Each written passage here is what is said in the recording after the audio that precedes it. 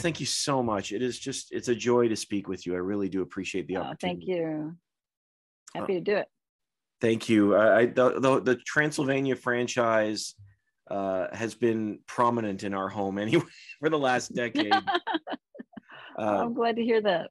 yeah, it, it's actually interesting. Like my my oldest is 11, so we've sort of grown. He's sort of grown up with the films at this point, and uh, so they're it's sort of a special family family thing for us. And um, so I'm and and you're new to the franchise, so I was wondering what excited you Yeah. to be a part of this world.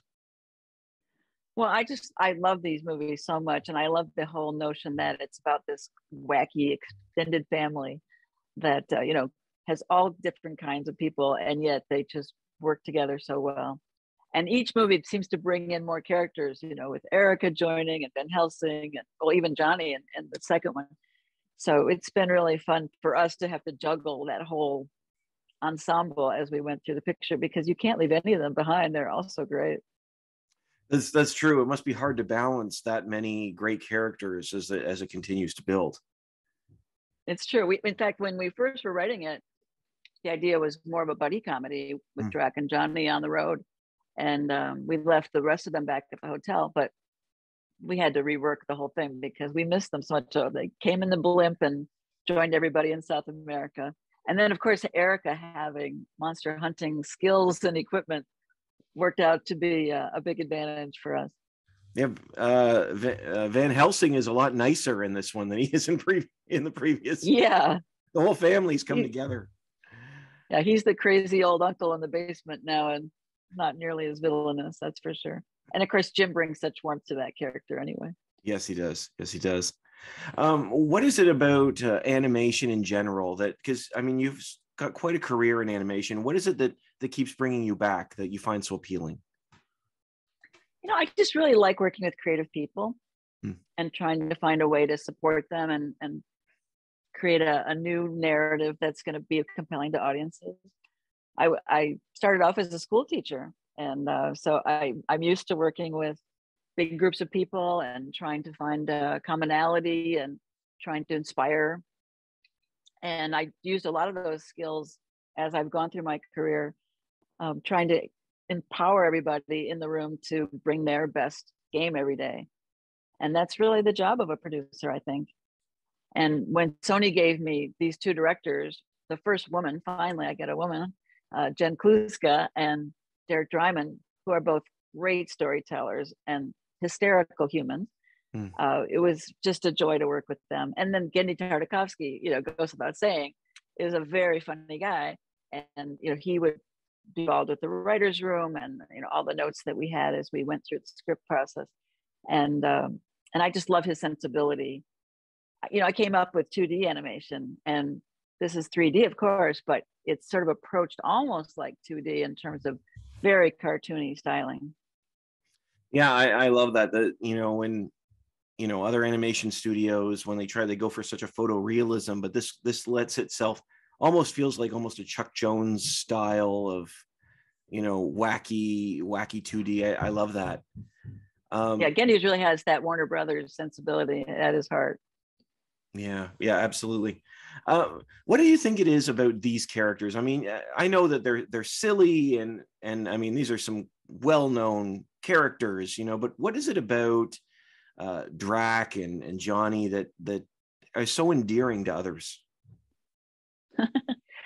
I think they're they're very um, authentic. You know, there's there's not a lot of artifice to them. Who they are is right out there all the time, and you get them very quickly. And we all know people like these folks, you know, and and they're quirky and they're different, and yet they all love each other. And I think you know, all of us have gone through this pandemic not having our communities, not Mm. having our extended families.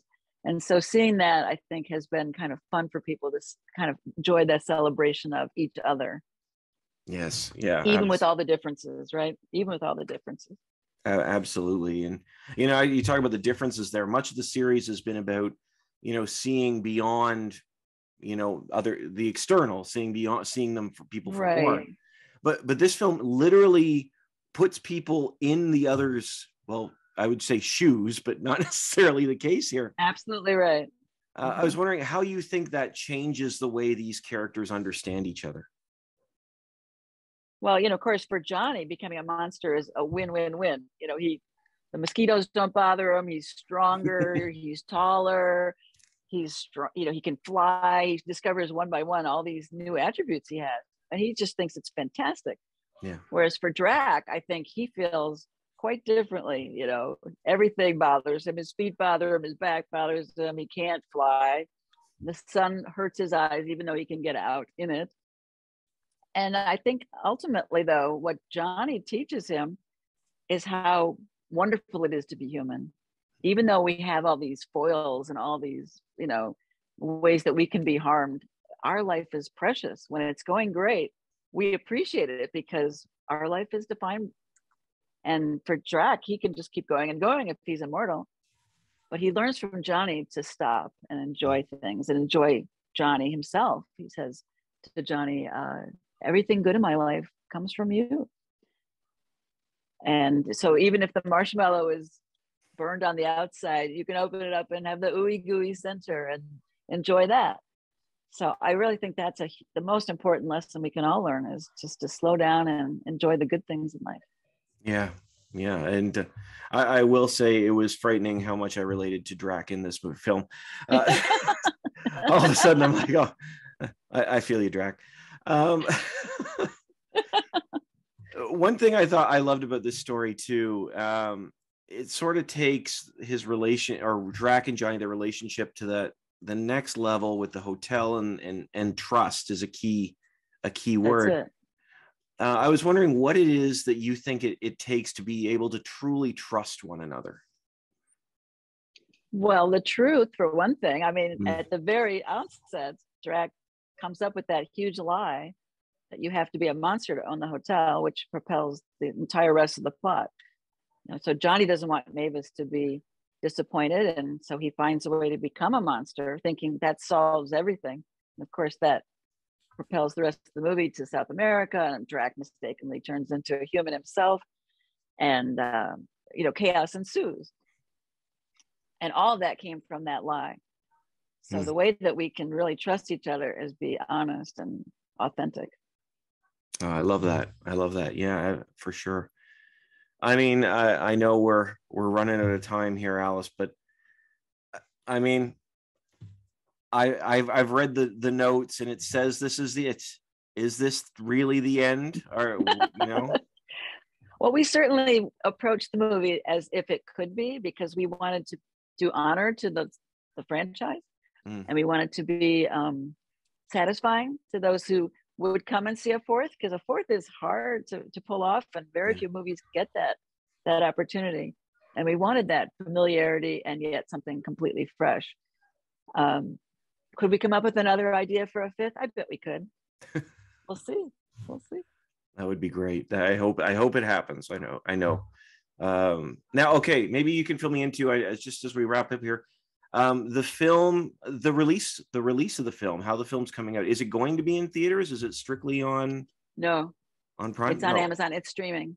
Okay, wonderful. So ultimately, I think we'll we'll probably reach more households than we might have in the theaters.